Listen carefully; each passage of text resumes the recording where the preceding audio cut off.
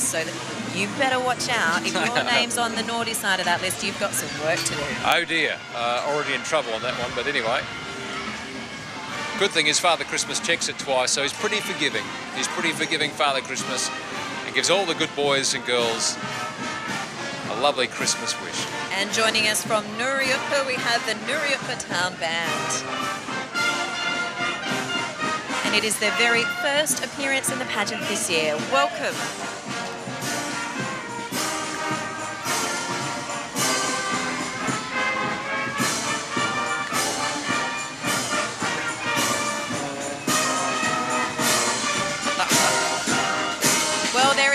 More to come. Stay with us. You're watching the 2016 Credit Union Christmas pageant.